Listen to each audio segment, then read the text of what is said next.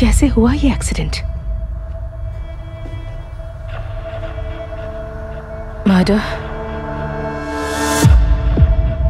Police वाले ने कहा कि गाड़ी वाला ठोक कर भाग गया।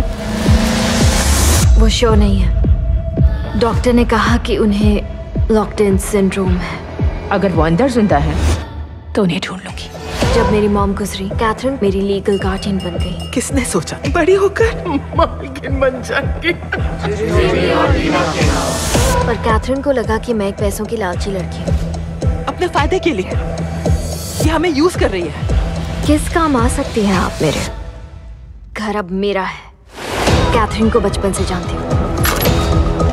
आखिरी बार तुमने लाइफ कब एंजॉय की थी? मैं उनके लिए कुछ भी कर सकती थी। नहीं आना चाहिए था मुझे। मुझे आपको तकलीफ़ नहीं देनी।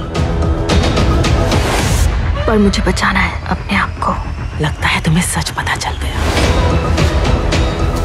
मैं ऐसे नहीं जी सकती। पागल हो जाऊँगी मैं। और मैं सिर्फ़ ये चाहती थी कि वो मुझसे बहुत प्यार करे।